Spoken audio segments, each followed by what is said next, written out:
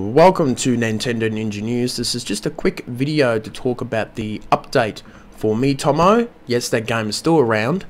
Um, that has been released today. It's uh, version uh, 1.4.1, uh, 74.6 meg. And some of the features are Candy Drop, a game where you can drop sweets into the to get the game tickets, has been added.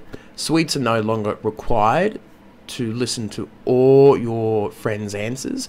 You can now choose whenever or not to receive uh, the Miifoto of the day. You can now choose individually which friends you receive answers from. Image quality of Miifotos you save to your device has been improved. Brazilian Portuguese is now supported. Cool. And other improvements to speed and features has been put in. Uh, the, the game has been pretty quiet, and um, it's good to see that they're still improving and tweaking and making things easier.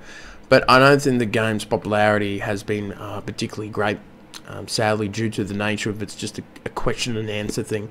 So hopefully, we will see um, Animal Crossing and Fire Emblem really uh, turn up the heat on uh, Nintendo's presence on uh, smartphones. To be very interesting. So, that's the news for me, and I'll see you later on.